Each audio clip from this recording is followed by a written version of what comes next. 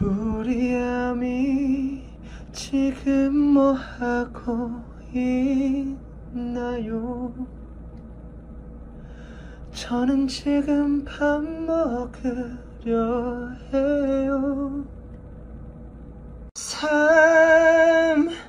삼겹살을 시켰어요. 여러분도 같이 삼겹살 해요. 이거 먹고 나서 인증샷 남길게요.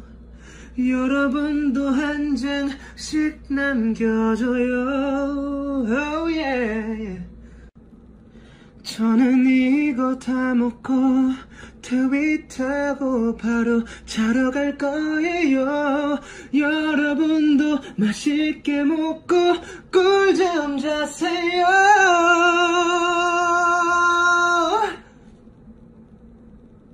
꿀잠 자세요.